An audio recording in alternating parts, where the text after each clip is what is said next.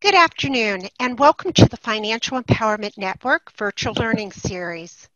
Our training today is about financial empowerment integration into service deliveries. The webinar audience is intended for professionals in the field whom we define as case managers, advocates, and financial counselors coaches to guide and contextualize the needs of your clients. I'm Alice with the Financial Empowerment Network, during our time together with my co-facilitators, we will take you into the financial empowerment zone. And you will hear the story of Sophie's 18-month financial empowerment journey. The Financial Empowerment Network envisions communities where low and moderate income individuals, families can achieve financial well-being. Our mission is to advance financial empowerment through partnerships that support access to affordable, effective, and relevant services, products, and other resources. Our process is to serve as a liaison to create connections, disseminate evidence based and promising practices, and bring resources to a network of providers to integrate financial empowerment into other services, including anti poverty strategies. With me today is Becky House with American Financial Solutions and Lydia Savia with King County Housing Authority. Uh, one thing I'd like to note is that both of them are uh, co-chairs of our Financial Empowerment Trainers Task Force, and so um, this is a wonderful collaboration with both of them. Becky is the Education and Housing Communications Director with American Financial Solutions and a Board Director for the Financial Empowerment Network and Bank on Washington co-chair. Becky has 24 years of experience in training and education development in nonprofit organizations. She is certified as a financial educator through the National Foundation for Credit Counseling and was named their 2019 Financial Educator of the Year. Becky is also an expert advisor for media outlets such as U.S. News and World Report, ABC, CBS, and Money Magazine. Lydia Savia Dawson has worked at King County Housing Authority as the Family Self Coordinator for the past 10 years. She has also worked as needed as a financial education facilitator and coach for the YWCA's Economic Resilience Initiative where she works primarily with survivors of domestic violence. Lydia has 25 years of experience in human resources and human services in a variety of settings, including city government, nonprofit agencies, and the Housing Authority. In addition, Lydia serves on the City, of, City Council for the City of Federal Way. So thank you so much, Becky and Lydia, for joining me today to facilitate this training. And again, welcome everyone. Becky, I'd love to hear a little bit more from you on American Financial Solutions. Well, thank you, Alice. Thanks for that introduction, too. I sound like a superstar.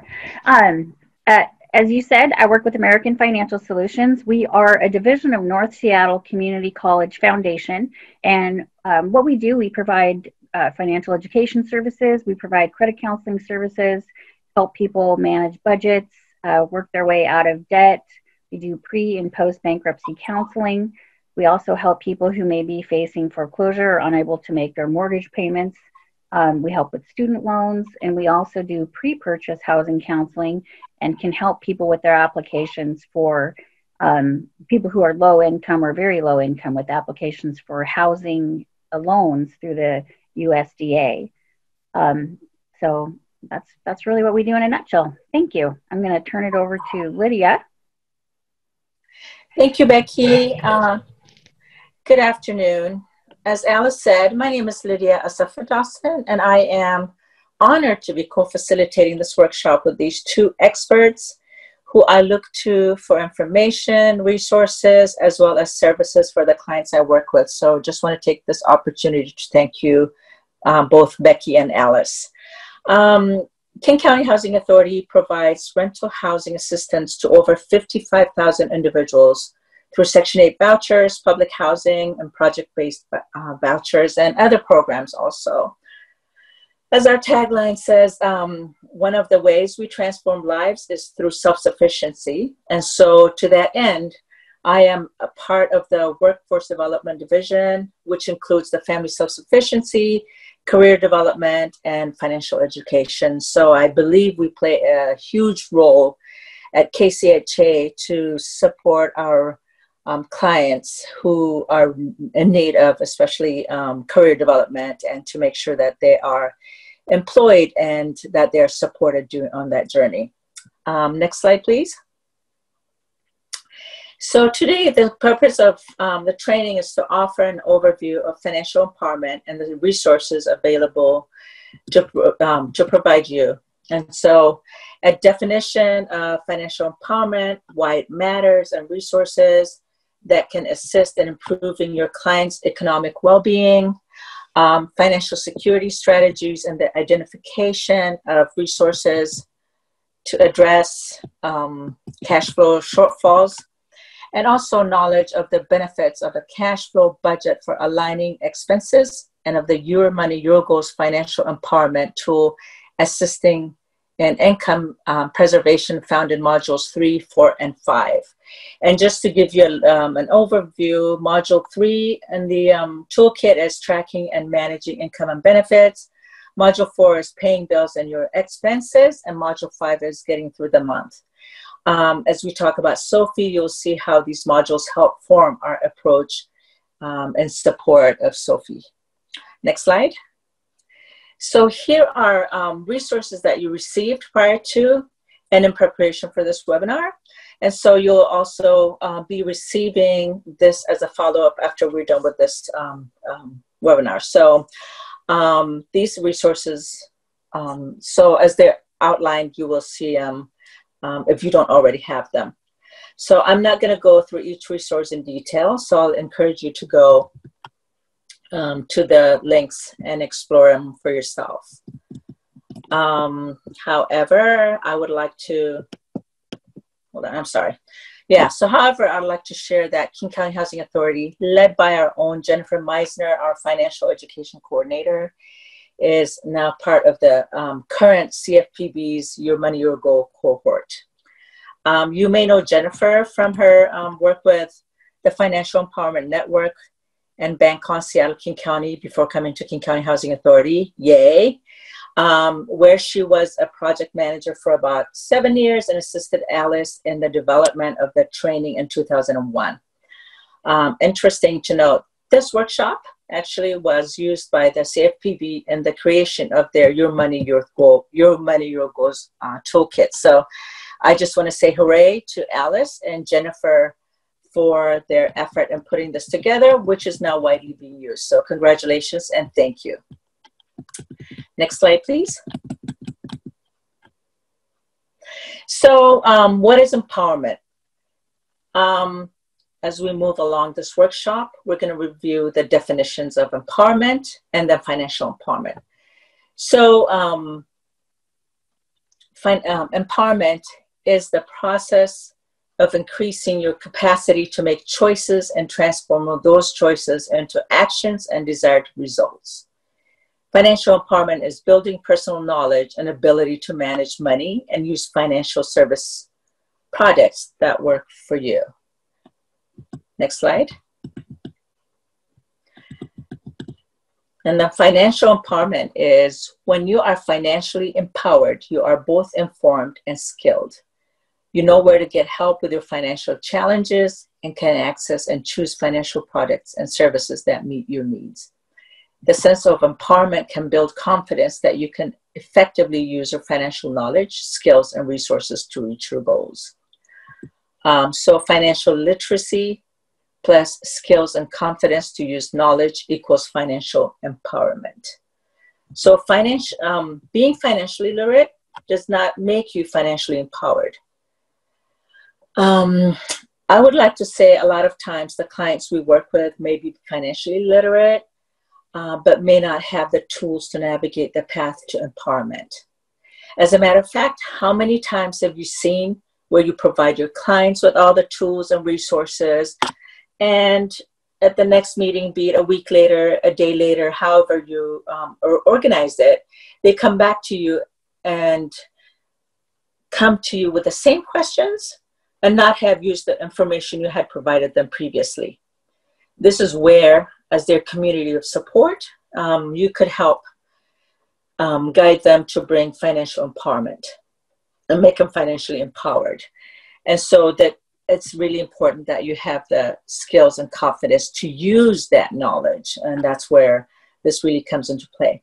So our case study, Sophie is one who is financially literate, but due to circumstances such as situational poverty, disability, inability to navigate the system, lack of budgeting, and not understanding her expenses, or not knowing that she could ask questions to cut um, or eliminate those expenses. So those all played a huge role in her financial decisions. So with that, I think I give um, this back to Becky. Thank you, Lydia. That's a great a great segue. Um, and you know, when you're when you're working with a client and you're trying to figure out how can I help this person, um, where can we go to bring about that the the changes that need to come so that they are financially empowered they they have the literacy they understand what's going on so they can move forward um, it's it's determining where do i start and as lydia said a lot of the time we work with clients and they come in and they um, you know, you go over the information and they go back out and then they come back in and they ask you the same question. It's not an overnight process. We, we know that from working with clients for so long. And Sophie's a perfect example of that. I believe Alice said this is a, an 18 month process that, that she went through in order to really um, understand where she was financially and be able to put herself back on, on track. So we're going to be looking at what you, we need to know, how do we find the information, and then how do we use that information to help Sophie. We can see here uh, her her budget when uh, she first was seeking assistance, and it's very much out of whack. She had a thirteen hundred dollars coming in in income, and after her expenses, she had a monthly deficit of sixteen hundred dollars, most of which again was that um, housing expense. So as we move forward to the next slide, um, you know, starting this process, looking at organizing an assessment. Basically, it's just starting the budgeting process. What income is coming in and when is it coming in? How do I identify that? Are there benefits or services that this person um, could, can, or could receive that could take the place of some of their expenses and allow them to keep that money for other items in the budget? So, uh, for example, you know, if she's receiving SNAP food benefits, is that a substitution? And that's really going to be important as we go through today is, is looking at the idea of substitution um, rather than necessarily just elimination. Um, but what can we substitute that might be less expensive or take the place of the actual dollar amounts that we're spending? So if I get, you know, food benefits, that let's say I get $150 in food benefits, that's $150 in cash that I can keep and apply for something else. So it's part of my income. I'm counting those food benefits as income. And then we look at organizing and assessing our finances. Again, it's a great opportunity to review and prioritize bills and debts. One thing that we see people struggle with when it comes to um, expenses are what is the most what is the most important. So you know, looking at do I need this? Do I want this? Is there a less expensive alternative? Am I putting the right things at the top? I need um, to survive, like what needs to be paid and purchased, my rent or my mortgage, my utilities, my medication, you know, my basic food expenses. So those are going to be the top level of my priorities. And sometimes what people will experience is that, you know, they get uh, a collection bill or, or something like that, or an old medical bill that's making a lot of noise, and they bump that to the top of the list over their current, you know, utilities or their current um, rent or or their, even their basic food So making sure there's a clear understanding that these things really are less important um, in the grand scheme of things. Then we look at those other uh, financial obligations that are important and can cause issues in a credit, which look at like student loans or auto loans or um, legal op- obligations. Uh, some of them are very high priority, but at the same time, are there things that you can do to try to mitigate those expenses? Um, and then again, lower priority things like old discontinued services, medical bills, and the like. I was talking to somebody this morning who was prioritizing their bills and they have one collection account on their credit report um, and they just got their you know extra $600 in their unemployment and were working on paying off uh, other bills that they had that are current which was great. And then they said well maybe i should just pay off this one on my my credit report. And i said you know here's the thing. It's already on your credit report what i would focus on are making sure that these other bills that are hanging out there that are not on the credit report don't end up there so again helping people to really walk through that process um, and evaluating spending. Again, spending is a big a big place where we really you know can look at uh, what are substitution options. Um, there might be services or expenses that people have no problem eliminating while finances are tight. But on the other hand, uh, during times like this, services like Netflix can be a huge blessing, blessing to a household. Um, but as a substitution example, rather than paying for Netflix, they may be able to use the library's Kanopy uh, video services to watch movies or watch shows. I did a kind of a spot check um, across the state, and it looks like most libraries do offer that service or something that is similar to library card holders. So it's an option, and that's just one example. But the goal is to become aware of where the spending is occurring and to look for places that can be reduced or substituted or eliminated. And it, and again, it's the it's a step by step process. So someone's not they may make a decision while you're talking to them, but they may not implement it until a month down the road because it's getting used to the idea and what am I going to change.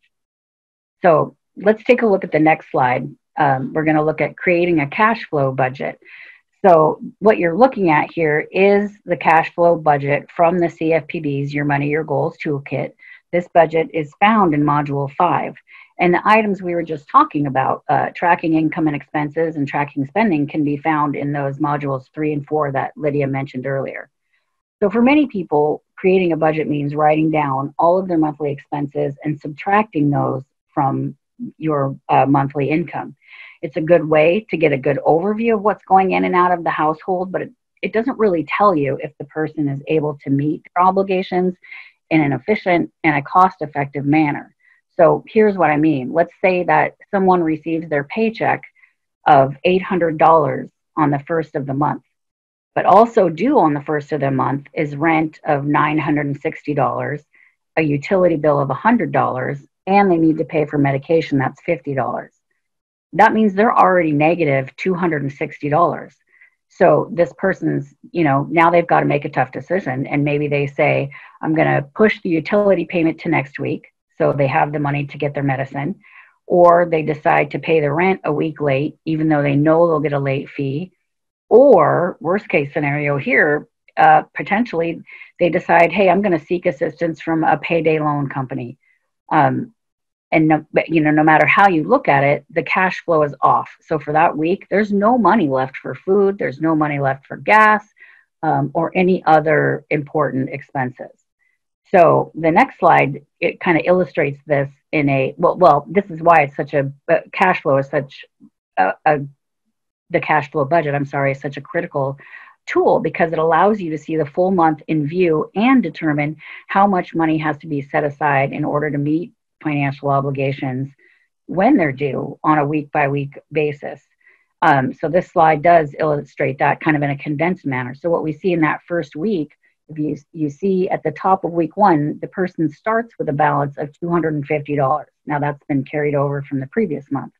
Then they receive um, a total income of $400, so 300 plus 100. Um, so now their total income for that week is $650, the 250 they started with and 400.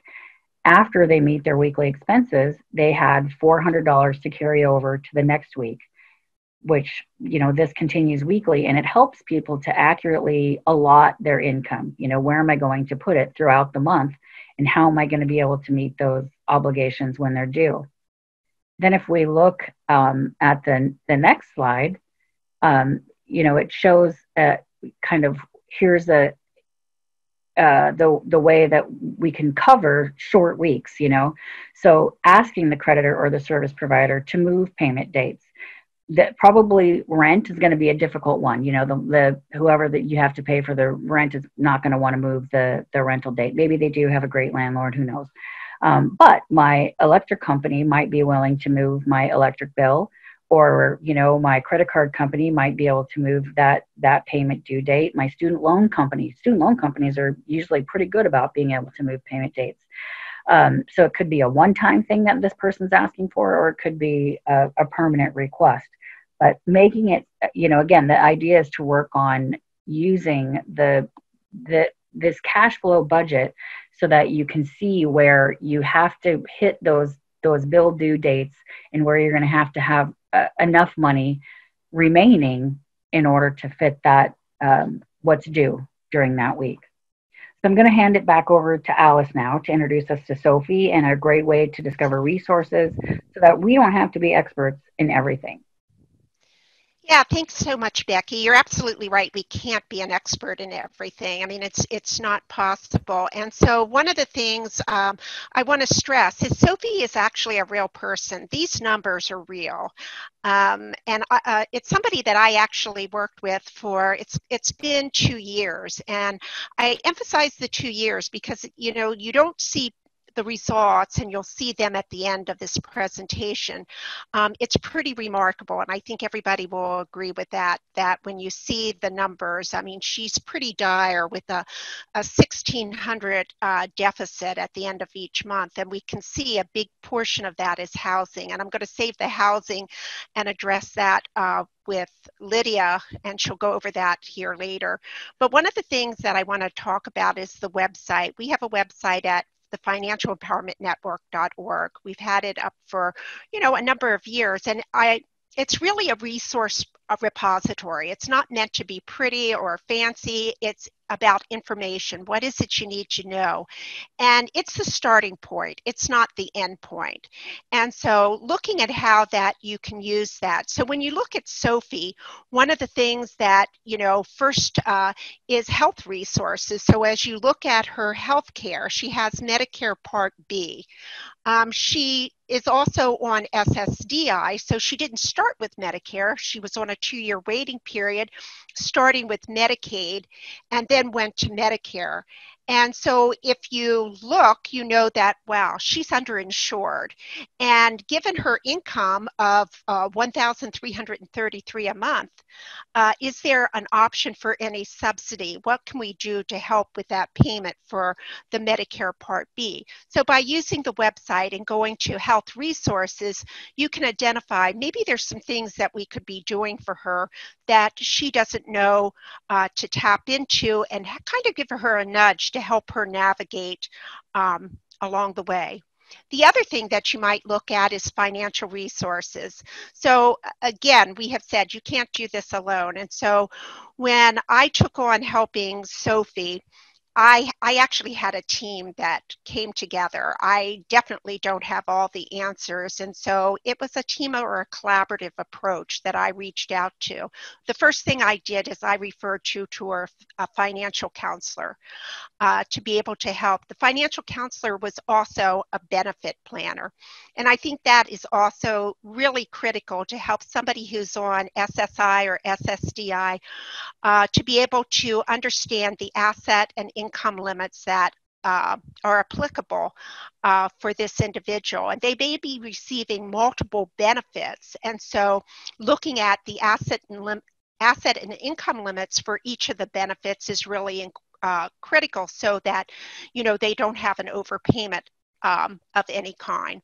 The other thing that um, was important to look at was the disability resources and what's out there, what's available, who can, uh, who could I contact, and uh, to be able to find more information and to help give her a nudge, but also to help educate me and making sure that I provided her with credi- credible resources and information.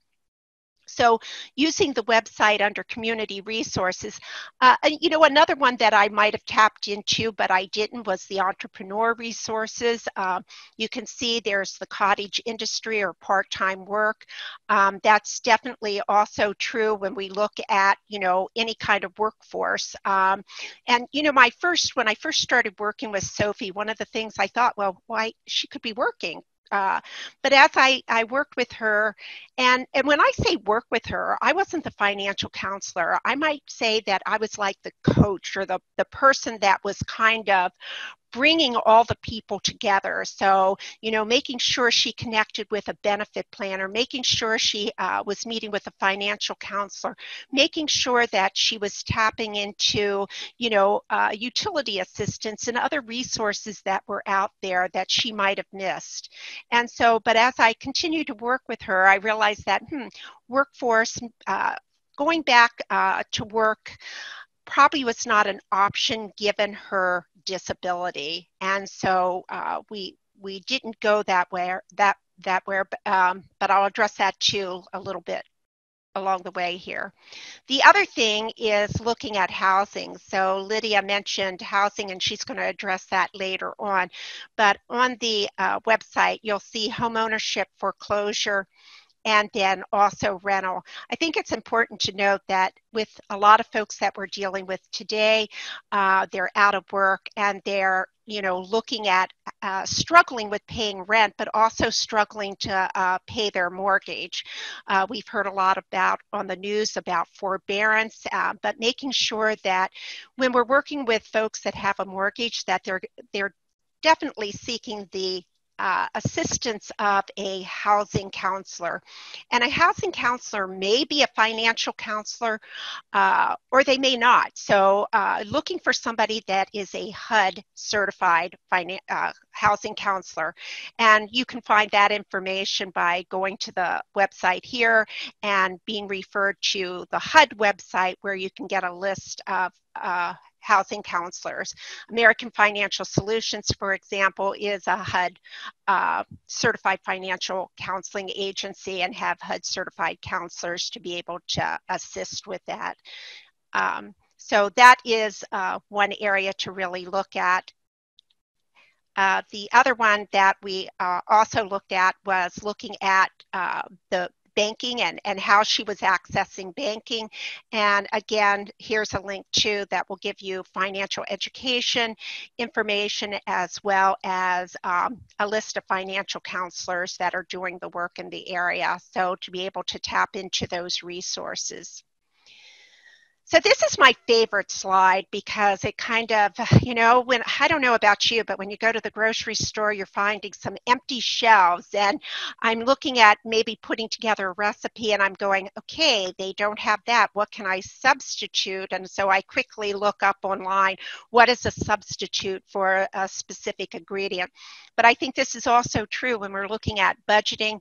Uh, yeah, I always have hated the word budgeting, but I, I think of it more as tracking and substituting. And so this is something that when working with Sophie, looking at what are the resources that what was she spending her money on and what what could we substitute and i say substitute not eliminate because it's really her choice and making sure that she understands that there are other things out there that she could be getting maybe the same outcome but for less money. So let me give you a, a couple of examples. One was the internet and television. It was $153 a month that uh, she was paying. And so it was recommended and suggested that maybe she look at Comcast Essentials. Comcast Essentials is $9.95 a month. It gives her internet access, and with that, she could do video streaming for Christmas, she got a Fire Stick, and then she had a cousin that allowed her to also access Netflix. And as Becky said, Kanopy, if you have a, especially in the Seattle King County area, if you have a library card, you can access Kanopy. And uh, it looks very similar to Netflix in that you can use your library card to be able to uh, video stream different movies and uh, documentaries that are out there. Uh, another thing that we looked at was utility assistance. Uh, she was able, she didn't even, she wasn't even aware that there was utility assistance and so was able to tap into that and be able to reduce her utilities. The other one, which is uh, pretty glaring, was she had an AT&T cell tablet and she was paying for, instead of tapping into a Wi-Fi, she had a data plan on her tablet. And so making the recommendation to cancel that you know, use Wi-Fi, and then she owed money on the tablet, and so uh, paying that off and um, reducing that expense and by you know reducing the comcast essentials and and some of the other things she was able to um, pay that off uh, the other thing that I mentioned uh, in the previous slide was her health care. And so she had um, Medicare, and the Medicare was the Part B. So uh, knowing how Medicare works, there's Part A, which is the hospitalization, Part B, which is your, your doctor, and then Part D, which is your prescription. Part C, which you may hear uh, about, is basically uh, a Medicare Advantage program where it brings together A, B, and D under uh, one uh, organization. You have seen probably organizations advertising that. Um, in her case, uh, the Part C was not available. And so, because she wasn't living right here in, in the Washington Washington area. So knowing Medicare and the fact that she just had Part B, we know that she's underinsured because she really needs a supplemental. So she needs her Medicare plus a supplemental. And being an individual with a disability, that was critical. What she wasn't aware of, that there was something called a Medicare savings program and she could apply for what's called QI. So she was able to apply for that. And with that, um, reduce and, and uh, eliminate the 134, which that dollar amount in 2020 went up, but that was the amount at the time when I started with her. Um, she was able to eliminate that and also get extra help. And that's actually the, the term for the extra help um, is a, a benefit to um, reduce your prescription charges.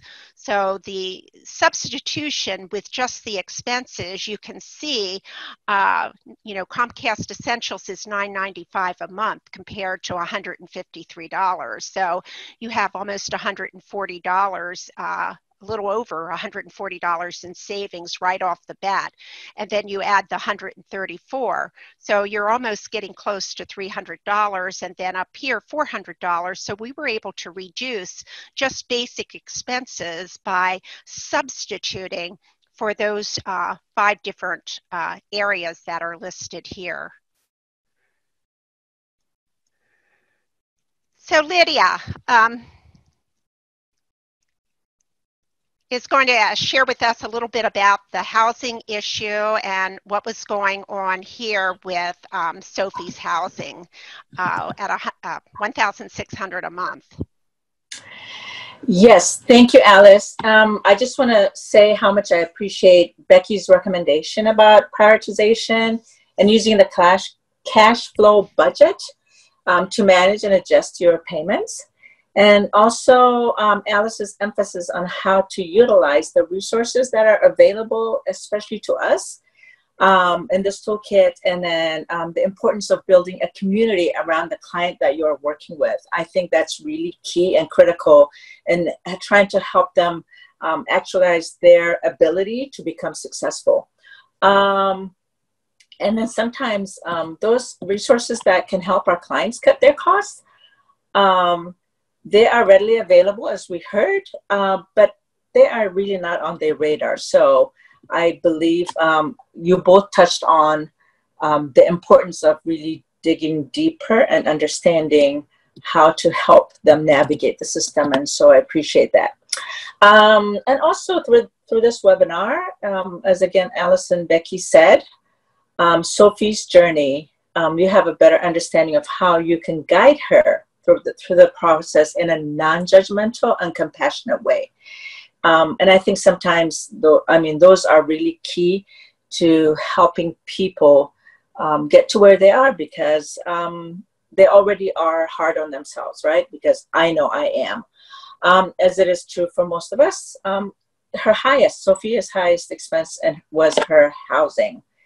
Um, and through the help of um, Alice and uh, the community that was around her, she was able to reduce her rent from 1,600 to $292. I mean, that is key, that is huge, and um, helpful to now her using the funds uh, for other areas as um, are already um, described. Um, because she didn't have the tools or the knowledge. She didn't even know how to look for subsidized housing, for instance. Um, in her case, public housing or Section 8 vouchers were not options um, because of the long wait and or other um, um, obstacles that are in her way. Um, but not only that, she probably wouldn't have known that she could have applied to other uh, multiple housing programs and organizations that are available, not only um, housing authorities. And so, one good option could even be for her to have applied um, to any housing authority outside an urban area where their wait list is slightly shorter. Um, and so, um, it would be outside of the urban area or the area that she wants to live in. Um, and so, once housed for a year at other housing authorities, she could transfer to a housing authority of her choice, um, um, potentially if there's um, a voucher or room available. But at least that one year allows her to either, um, yeah, to transfer her voucher to to the place that she wants to be. Well, in Sophie's case, she had a case manager who was able to guide her, um, a family member who could help do some of the search um, uh, because as we can see, Sophie would sometimes get overwhelmed with details. Um, and so as you look at your uh, client's budget, you can d- dig deeper and understand the underlying or other issues that could stop people from moving forward, even if you provide them with the tools. And um, yeah, with that, back to you, Alice. So thanks so much, Lydia. So yeah, one thing I want to say with the housing, and Lydia mentioned she had a family member, and so when we were putting together, um, you know, a, a, team, uh, what I often call it is a brain trust. You know, who do you need to to come together to be able to help move somebody forward or to be able to solve a problem who are the folks that you need at the table and so family members are you know sometimes really critical and in this case it, it with an individual with a disability. Um, I think it's important to note that she didn't always have this disability. She wasn't always in poverty. She at one time had been a homeowner. So understanding that we're moving people out of poverty, but they can just as easily slip backwards. And so helping people with that forward moving trajectory is, is really critical. And so her family member was really an important part of the team. And so in the case of Sophie, there was not housing readily available. And so one of the things that we looked at is where is housing? And maybe what we need to do is to move her where there is more affordable housing uh, and not a wait list. Um, and so initially, what what was done is she was moved to a more rural area. Uh, there was a wait list, but uh, one of the things that her aunt did was every week would go out and say, "Has is there anything available? Is there anything available?" And eventually something came up, and it was amazing.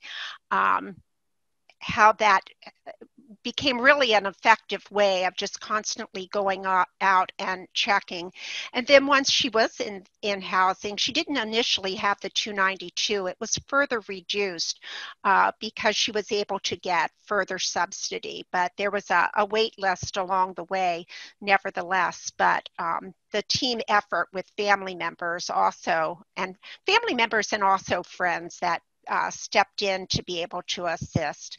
So I want to talk a little bit about the work situation because Sophie um, is an individual with a disability and so there were some options uh, that we did look at and one was in, in the state of Washington we have Plan to Work and so it's a benefit planning project. Um, and you have trained community work incentive coordinators who focus on uh, individuals that are getting Social Security uh, benefits, and they provide free services to individuals and organizations. I might say there are also other organizations that are doing that. And so if you're in the Seattle, King County area, um, Northwest Access Fund provides, uh, they have a, a full-time uh, financial uh, counselor as well as a certified benefit planner. They also provide assistive technology loans.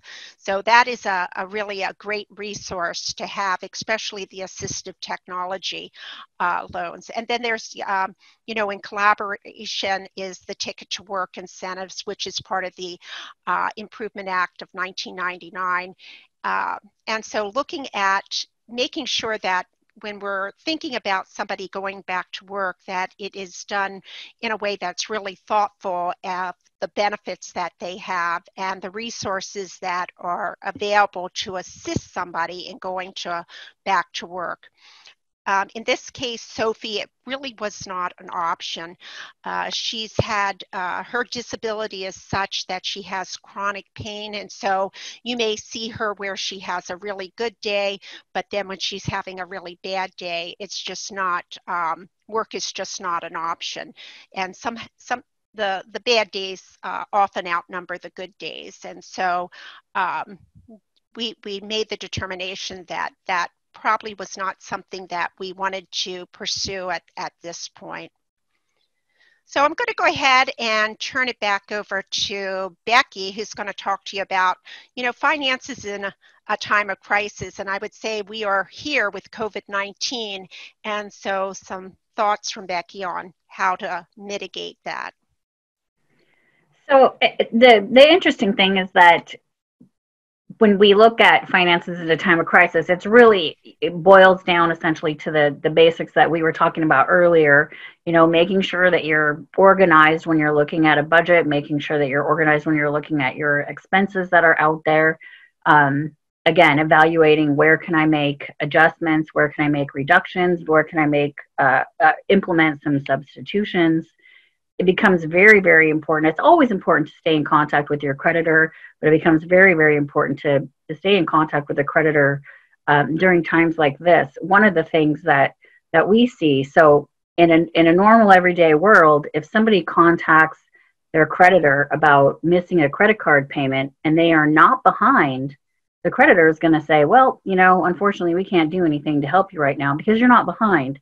But right now, we've turned that on its head. So if someone calls a creditor and says, I can't make my payment, it's critical that they get in touch with that creditor at this point because the creditor, um, many of them do have tools in their toolbox to make it so that someone can either have a reduced payment or they can skip a payment.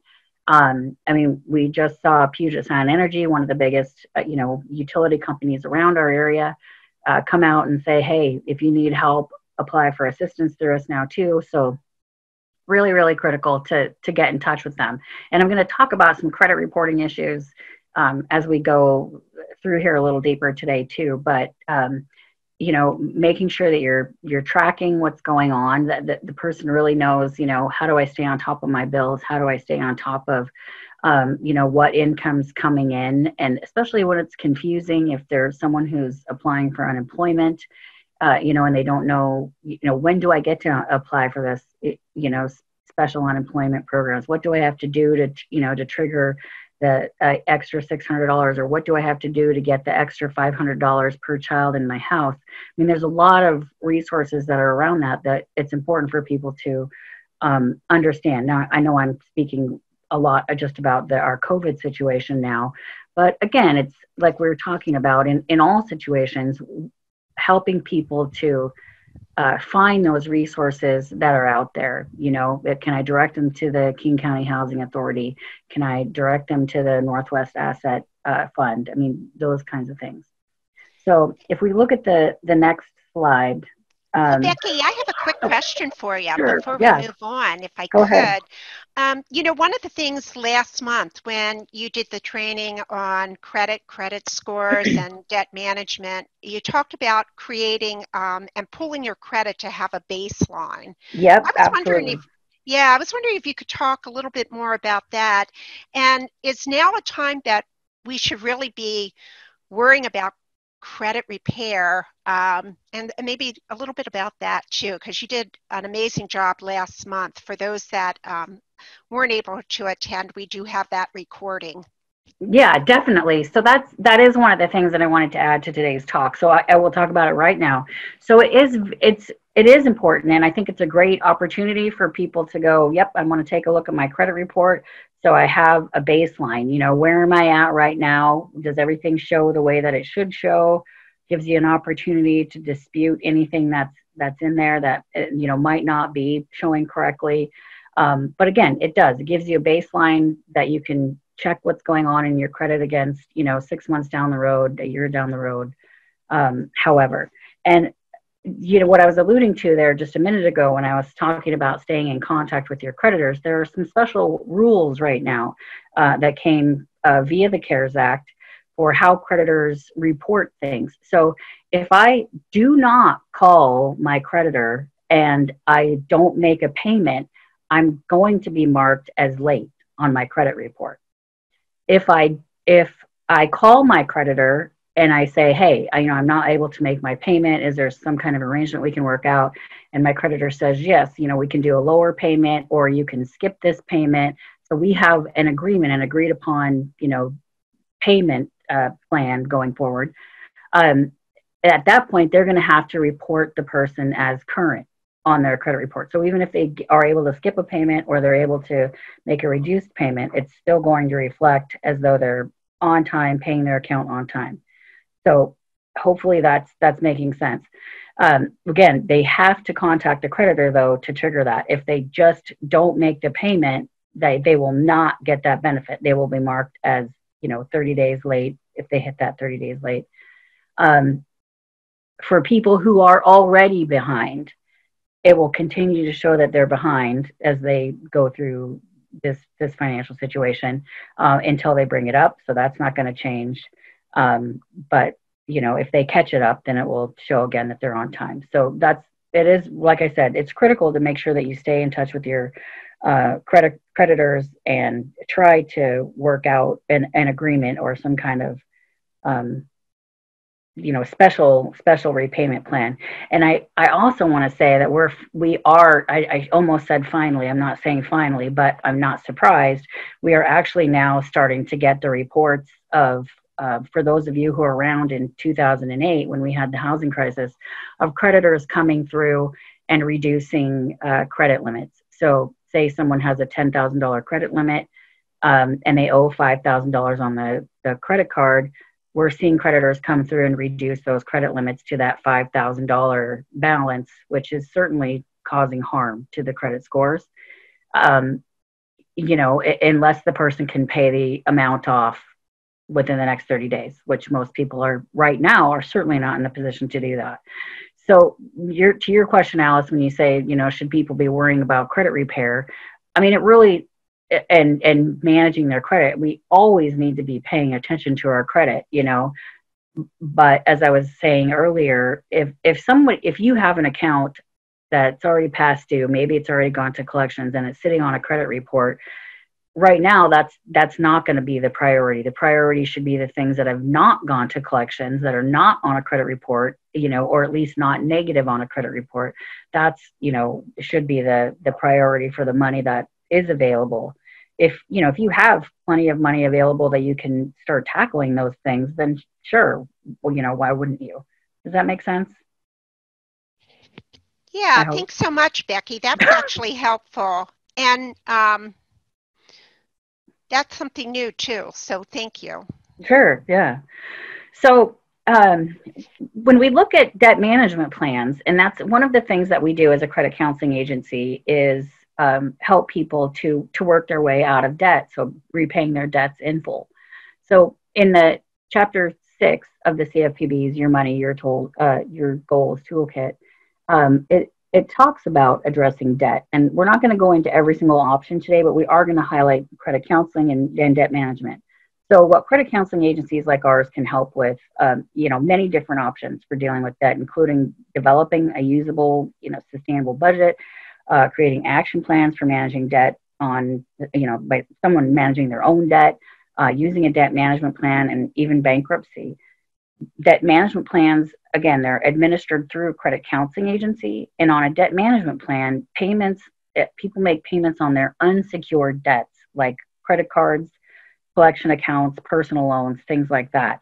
So those types of accounts are consolidated into one payment. So the debts themselves are not consolidated. It's not a loan, but the payments are consolidated.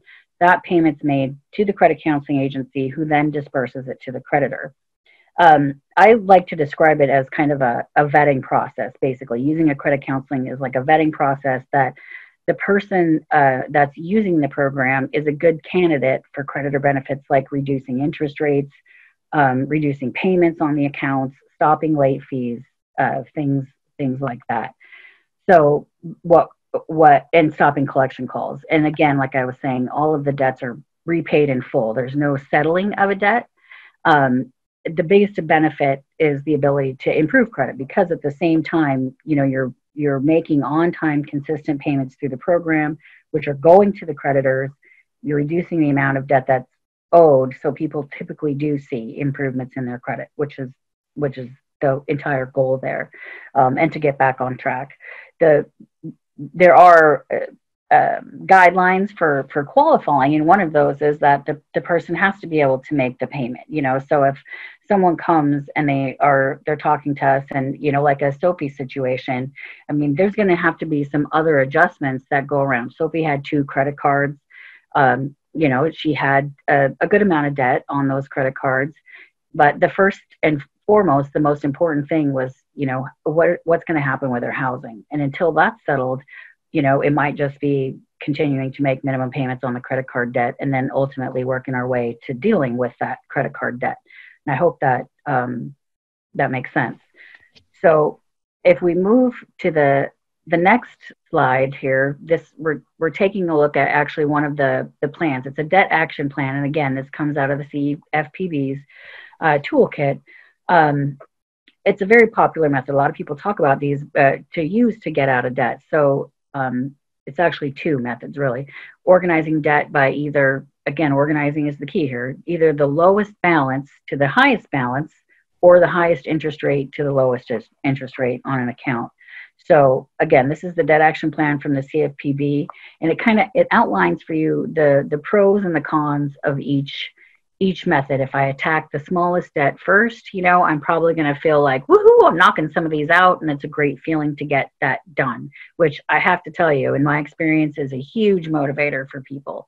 Um, the highest interest, though, is going to save me the most money. If I attack the debts with the highest interest, that's going to, you know, keep more of my money in my pocket ultimately. But again, it's really up to the person and, you know, what do they think is going to work the best for them. Uh, but without looking at that, you know, it's it's part of that organization. You know, assessing what are my priorities when it comes to any debts that I might have, um, and making sure those things we talked about in the very beginning of today. You know, my housing, my utilities, my medication. Uh, you know, potentially my car loan or something like that. Those are my top uh, focuses right at this point.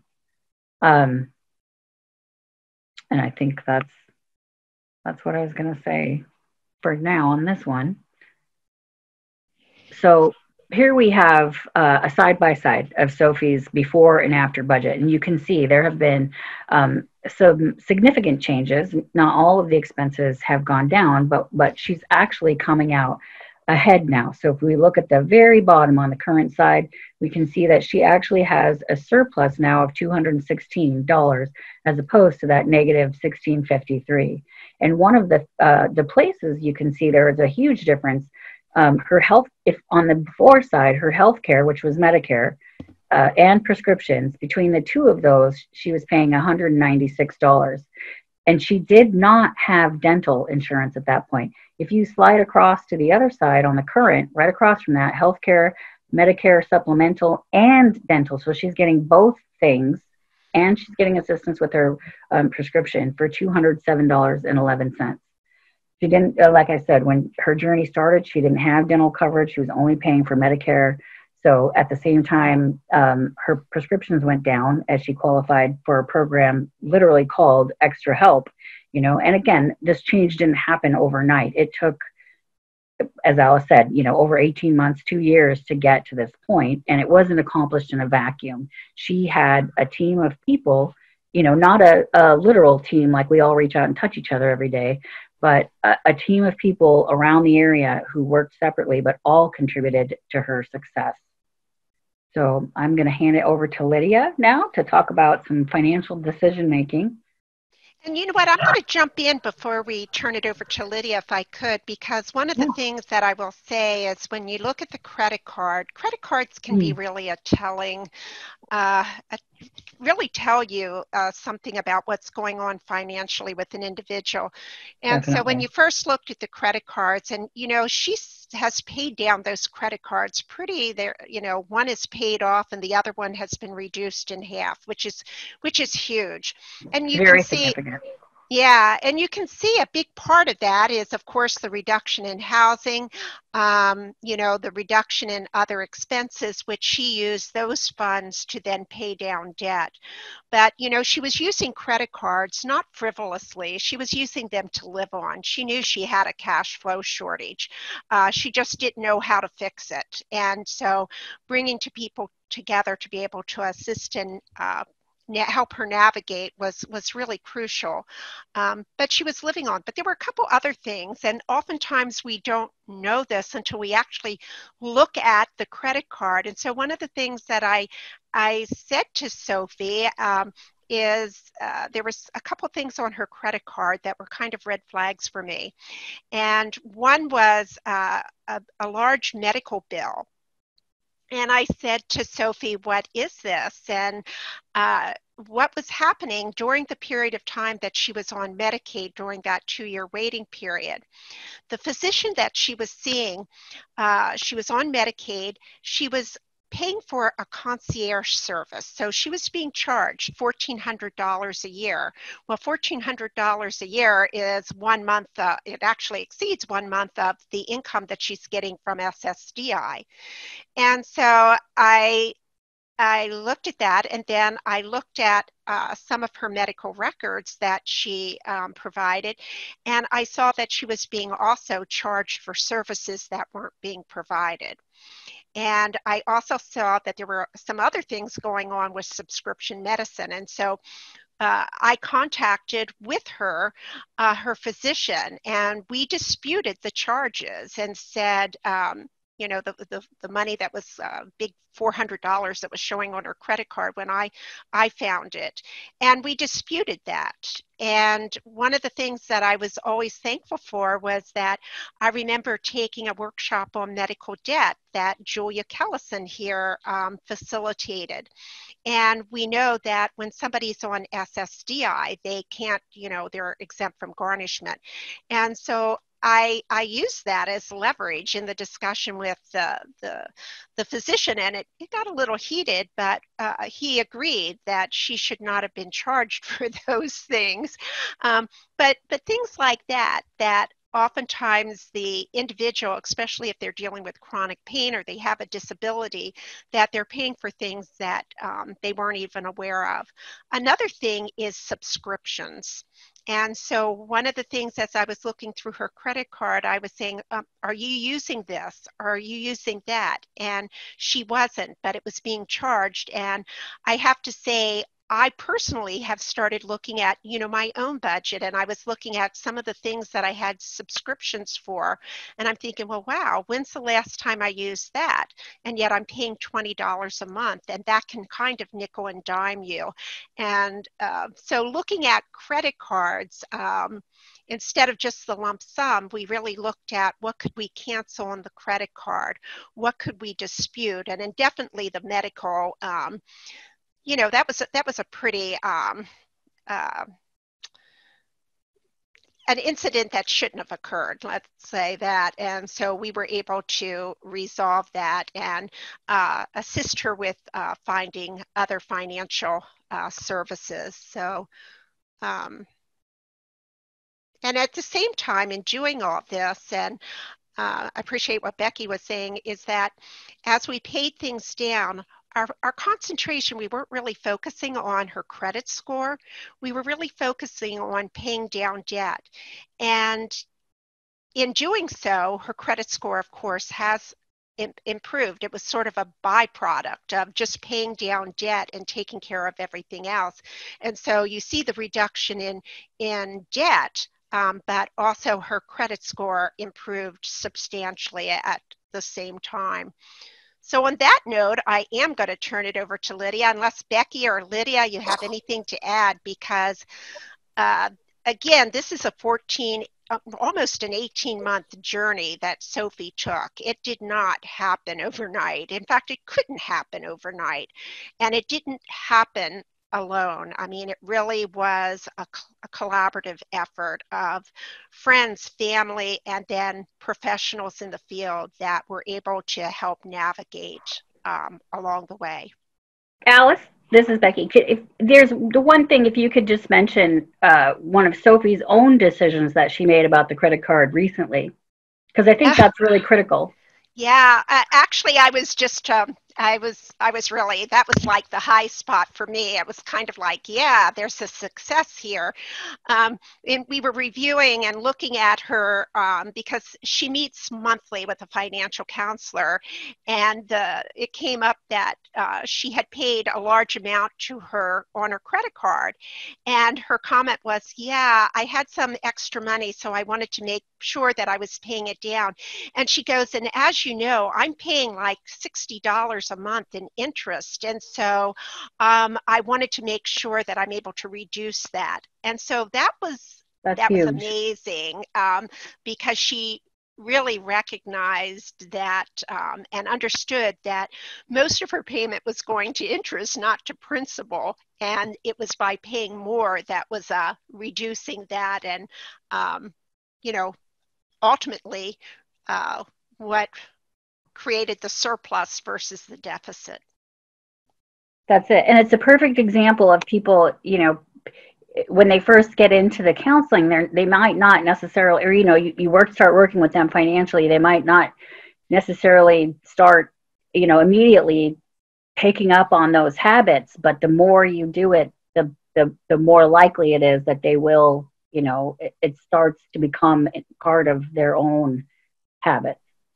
Yeah, that was pretty amazing. That was wonderful to see that. So that, like I said, that was a big success. And um, I'd also like to add that um, even as you're talking about Sophie right now, I can hear the excitement, Alice. And I think um, as we go along these, they're along with them on this journey and see the milestones that they have um, successfully overcome, I think celebrating with them and um, and creating that habit of excitement along with them, I think also um, helps because they know that you are totally invested in their, um, have a, a, vested interest in their success, and that you're really helping them celebrate those successes because they, uh, when you're going through challenges, it's hard to see the light and it's hard to celebrate what little you have accomplished. And so I think I wanted to add that. Yeah, you know what? That's that's so true.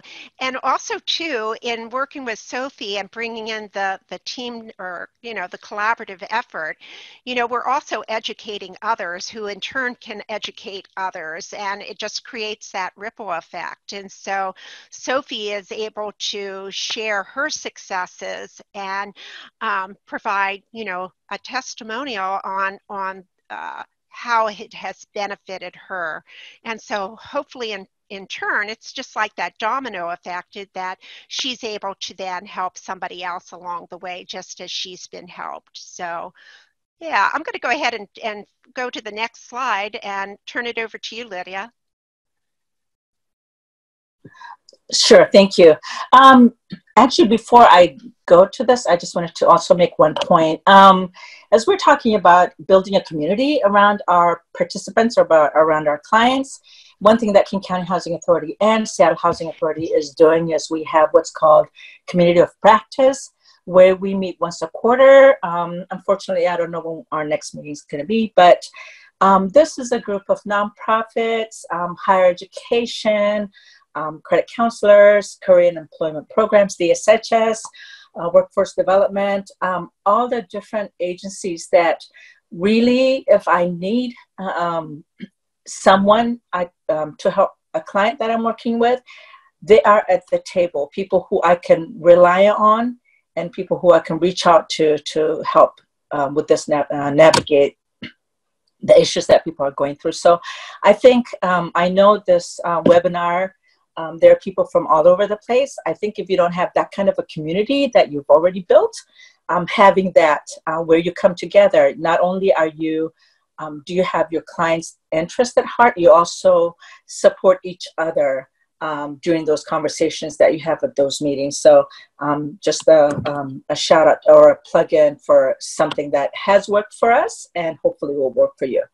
That said, this slide, sorry, um, this is a, a, really great tool that the uh, Financial Empowerment Network created. And this is not in the toolkit. Um, it's the financial decision making process. So, as we help our clients navigate through financial empowerment, we need to know where they are on this financial spectrum. Um, as Alice calls it, this is the ruler. Um, and so on the spectrum, you can put your client on a scale from one, where they are unbanked, to home ownership and retirement, um, you know, let's say um, 10. So at this point, then, you know, your money starts working for you. So in between those two spectrums uh, of this ruler, there are steps along the way to get you being in control of your finances and where you have achieved financial empowerment. Um, Sophie was clearly in a financial crisis and could not have progressed to becoming homeless without a collaborative approach to, I'm sorry, to intervention. So next slide, please. Thank you. So the um, so the ruler in this illustration shows how a banking relationship is crucial and how it aligns with previous slides on the movement along the stages of a, of a financial continu- continuum. Excuse me. It's the financial decision making process. And so, again, as we help our clients navigate through financial empowerment, we need to know where they are on the financial spectrum. On this spectrum, you can put your client on a scale from one again to um, your 10, right? And so um, it's the knowledge where to find the resources and understanding the financial decision making process that helps us mitigate the risks of financial crisis. And so, uh, with that, Becky, excuse me, so I give it back to you. So I have a couple questions here, and I think Becky, before we move on, I'm just going to have you uh, answer. We have three questions from um, our audience, and so um, the first one is: How would an individual partner with a credit counseling agency? Is there a wait list? So there is uh, no, there's not a wait list, um, and really they just need to to call us, and um, they would be able to work with a counselor, speak to a counselor right away and that's it. It's pretty straightforward, luckily. Yeah. And then the other question is in, in establishing a debt management plan, are individuals required to give account access to all their credit accounts? No, actually, we do not um, get any kind of. What we do get account numbers because we have to be able to provide those to the creditors to say this is the account we're talking about and ask for those benefits from the creditors. Um, but as far as like logging into someone's account or anything like that, uh, we don't get any of that information. And actually, we don't. Um, a lot of the time, people look at, they think that debt management, the way that that works, is that we're essentially taking over their accounts, and we we really try hard to help people understand that they are still 100% responsible. We don't get the statements so they have to be opening statements. They have to be reviewing them and making sure that, you know, their payments are posting accurately and that their interest rates are reducing and, you know, everything's going the way it's supposed to go. Um, because we get a letter back from the creditor that says, oh, yeah, this is good. We'll give this person this benefits. And then from that point, we think everything's okay. So, which most of the time it is, but that's why we ask people to continue checking their statements, managing your accounts. It's still, you know, we're just kind of um, like I said earlier, it's like a vetting process saying, yeah, we've reviewed this person's financial situation and a debt management plan looks like it would be beneficial to them if, you know, it would help reduce the interest rates and reduce the payments and, you know, if they're getting late fees, stuff, that kind of stuff. Um, but if the income's not there, you know, or, or whatever the reason might be, then it's probably not the best option. But that's what we look at. And if it's not the best option, then that's the other side is okay what what what can we help you do to find another solution and sometimes you know that's uh, it is sometimes considering bankruptcy. Sometimes it's just uh, making some budget adjustments. You know, they don't need a debt management plan. They just need to really take a deep look at their budget and um, try to stick to their budget, which sometimes is harder. Uh, or they might need an, an outside referral. Like we do a lot of referrals to Northwest Justice Project for for things. We deal with a lot of, um, you know, you, you talk about credit cards, and I think a lot of people have this kind of assumption that if you have a credit card, you must be you know, somewhat, you know, well off financially, but 70% of the people that we help and assist are considered low income. Um, so, you know, it's, uh, it might be a referral to, you know, other, some other kind of social service agency for assistance or, um, there's a huge swath that we kind of, we try to cover there. So, Becky, I have a, a, question that was recently asked of me, and I know there's a lot of confusion around it currently today um, on housing uh, with rent as well as with mortgage payments. And so the call that I got um, was an interesting call because they asked, should I apply for forbearance? And so my first question to them was, are you having difficulty making your payments? I didn't, you know, one might easily assume that just because somebody thinks they should apply for forbearance that they're having difficulty. And I decided to not make that assumption, but to ask them, tell me a little bit about what's your problem, you know, why are you having problems? Are you having problems? And it was interesting because the response was, no, I'm not having problems making my payment, but felt like maybe I should apply for forbearance. And so I think there's a lot of confusion out there regarding forbearance. Um, there's been a lot in the news, a lot uh, uh, on rent and I, I, was wondering can you talk a little bit about that especially since uh, american financial solutions you're a hud certified counseling agency. You have a pretty robust team that works on housing issues. Um, so when somebody you know the forbearance and and the uh, rental um, what you might advise as as a counseling agency so I'm glad you asked that because that's one. Those are one of the questions that that actually scares me, and it does scare me because I am really worried for homeowners, especially not just homeowners. I get really it is for people who are renting too. The bottom line is, if you can afford to make the payment, you know, I, I highly encourage people to make the payment. Um, I'm not, you know, if if you can afford to make any payment, you know, maybe you can. Uh, you do come to an agreement that says, you know, I'm going to pay $500 a month instead of the full amount. But what we don't want to see happen, and which I unfortunately I feel very confident it is going to happen, that we're going to get to the, you know, the end of this this this situation we're in right now, and people are going to owe three months, six months worth of mortgage payments or rent payments, um, and they're going to end up being, you know, homeless or displaced and uh, or facing foreclosure. So you know it, it is again it's fine tuning that budget really digging in and taking a look at what can be uh, you know reduced or removed for the this period of time so that that high priority bill the mortgage or the rent whatever it is does get paid and that goes for rent too, because I also had a question where they asked, "Oh, does this mean we have amnesty for rent?" And um, mm-hmm. So making sure that those, uh, and looking at substitution, which is what you brought up in the very beginning of, uh, you know, the workshop today, um, can be, and just like what I did, looking uh, through my own bills and looking at what kind of subscriptions do I have? When did I last use that subscription and should I eliminate it uh, for the time being? So um, I think that's really, really good tips. And so thank you for that.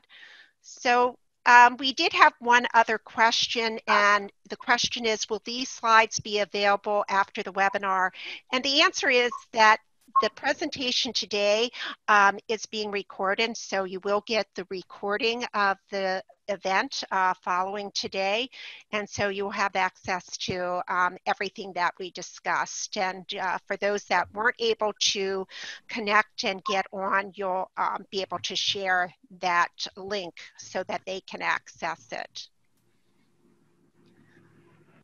Okay. Um, before you we move on, uh, one thing I failed to say, um, Alice, you talked about Sophie who and she almost she was a homeowner and um, now she um, as a renter, right? And so one thing I wanted to I, um, I kind of want to share is that when we're looking at the spectrum, the ruler, that it's um, important to notice that or to remember that anytime on this spectrum they might be moving forward, but they can also move backwards.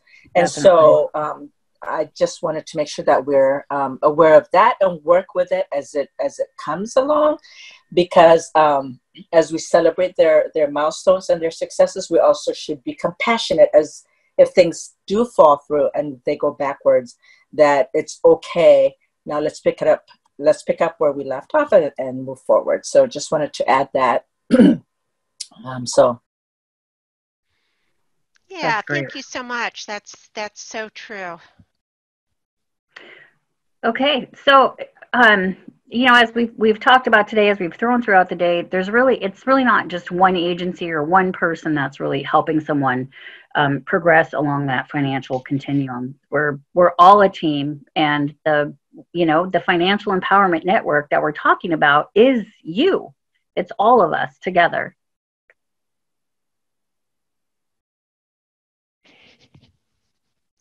So we have a few uh, moments left, and so I'd love to hear from folks um, that are with us today. You know, what will be useful to you in your path to financial empowerment? What next steps might you take? Um, moreover, what else do you need? And then how does change begin with you? So I'd love to hear what, what else do you need out there? Um, and how can we be a benefit? So if you want to take just a few minutes, if you have, um, and reply, and we'll be able to uh, address any questions. But we would lo really look forward to hearing from anybody or any responses you have to you have. So I'll give you a few minutes. Alice, I was just going to say too, uh, you know, I messed up your questions. I sent you an email, but you might not have seen it yet. Um, somebody asked where you could be uh, and access AFS services, um, it doesn't matter. In Washington State, you could live anywhere in Washington State and access uh, our services. And we, 99% of what we do is done over the phone. Everything we do right now is done over the phone. So and I might add to that that you actually have a national presence, even though you True. have your offices in, in Bremerton and right. um, are very, very active within the community um, and partner with a number of organizations presenting, just like you're doing with me today. And so, in fact, as I said, that was one of the reasons why Becky and Lydia were part of our financial empowerment trainers task force.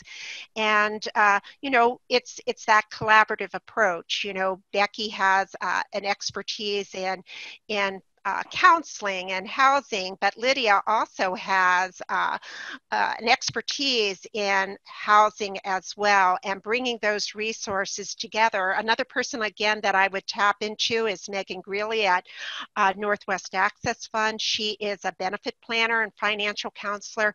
And so, truly, I am not a benefit planner, and mm-hmm. having that expertise is really, really critical um, having that collaborative approach. So I do have another question.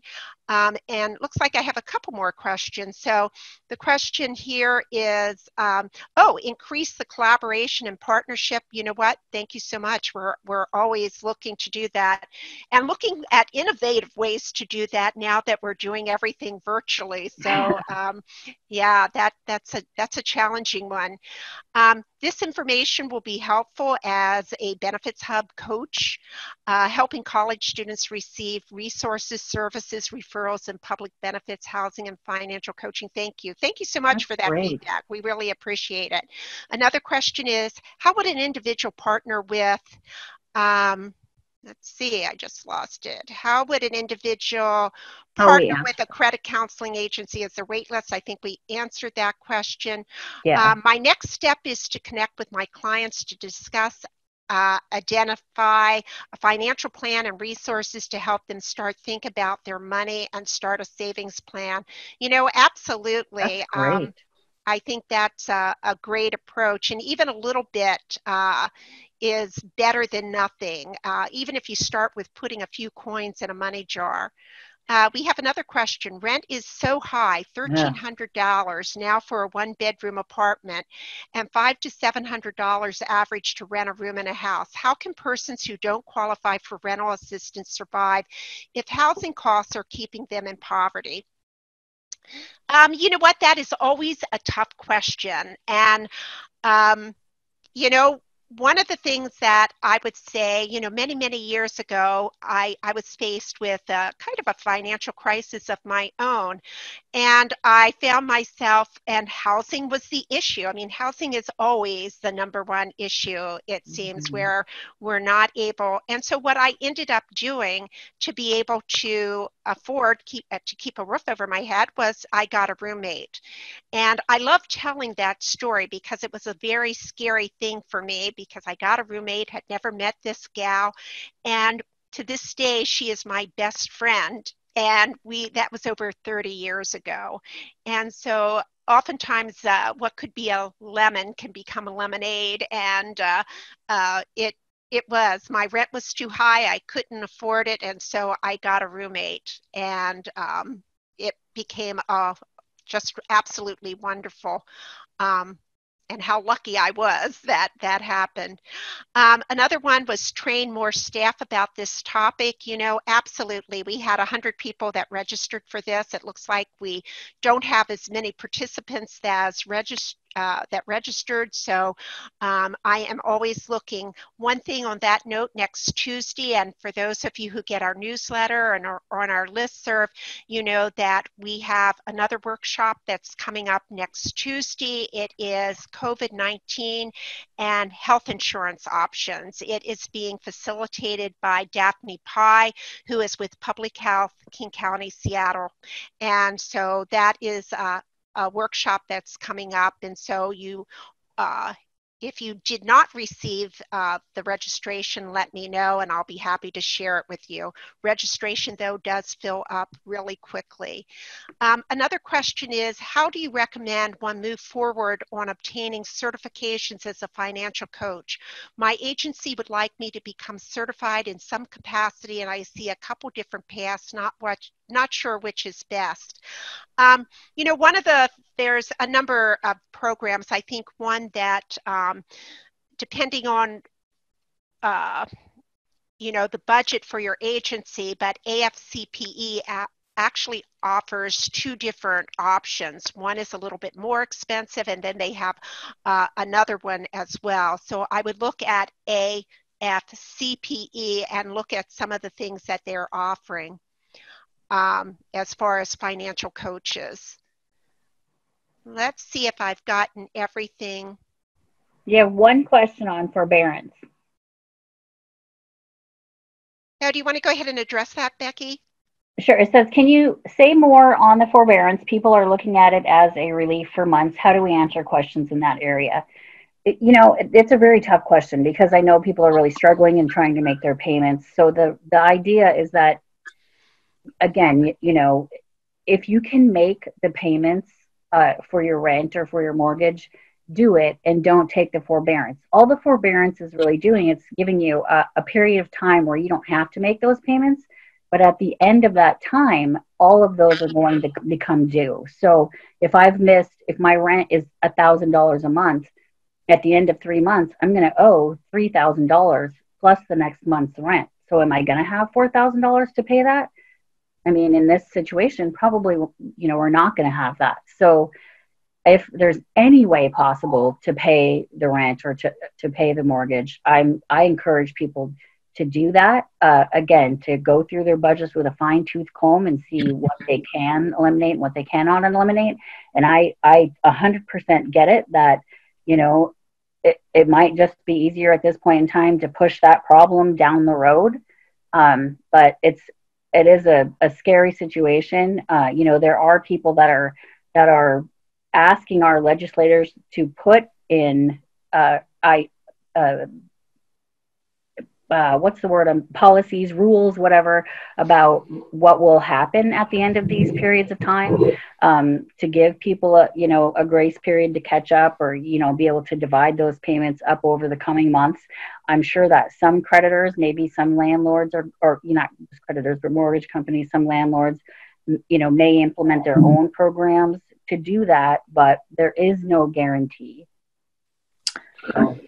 Yeah, and I would say, you know, uh, to that, it's in really impor- important not to, uh, you know, to, to make sure you communicate. So if you have yeah. clients that are in that situation or you're in that situation, uh, you know, communicate with your landlord. Let them know, hey, um, even though, you know, there's uh, a moratorium for eviction at this point, um, you know you, you don't have to worry about that but there's still rent ha- hanging over your head. So letting your landlord know hey i'm having a lot of difficulty now.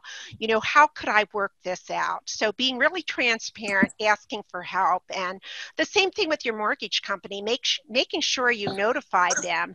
And then remember as becky said in the beginning if you're having difficulty making a payment due to covid-19 making sure that you address that with the creditors. Yeah. um, and notifying them so that it's not reported and it doesn't become a negative mark on your, your credit report. Um, so making sure you, you do that. Um, did I miss anything on that, Becky? No, I think that's great. Okay. You, it looks like you have one more question. There's another question, so don't miss it. Okay, go for it. In establishing a debt management plan, are individuals required to give account access to all their credit accounts? Um, Becky. Oh, we did answer that one, but the one right oh. underneath of that is it possible yeah. for a financial coach at our agency to create a debt management plan for clients to work with creditors? And if so, what's the first step? So, Sorry about that. No, no, it's okay. So, for a debt management plan is actually a contract between the debt management company, like or not company, but it's the credit counseling agency, excuse me, um, and the creditor. So it's an agreement that we have. Um, so as another agency, I mean, you could approach those creditors uh, and you know say that this is what you're trying to do. You'd like to set yourself up basically as a you know providing credit counseling.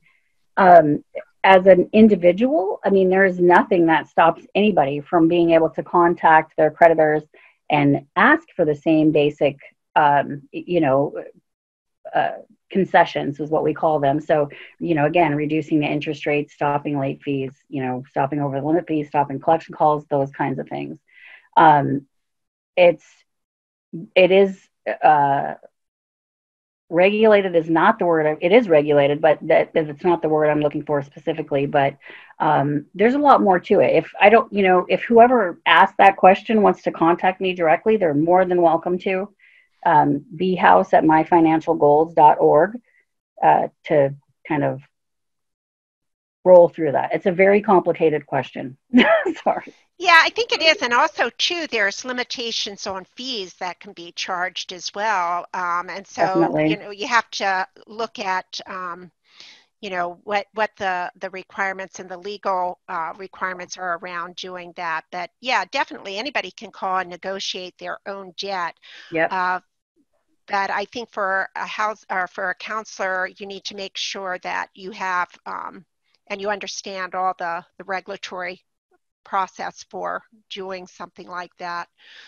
Um, there was another question, and the question is Can I get registration for training next week? And absolutely, you can.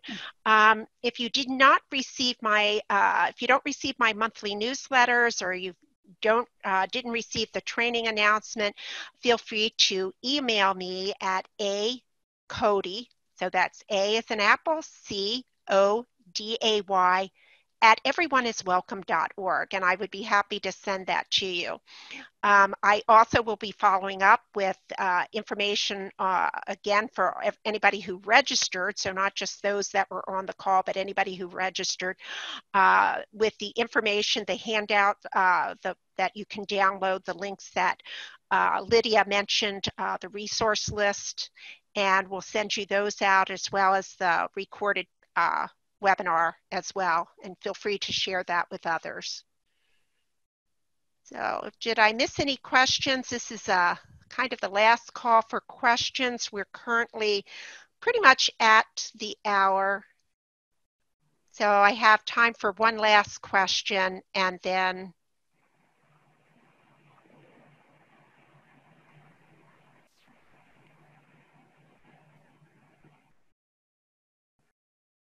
Absolutely. Thank you. Um, so I think we uh, have, let's see, it looks like we have one more question that came in.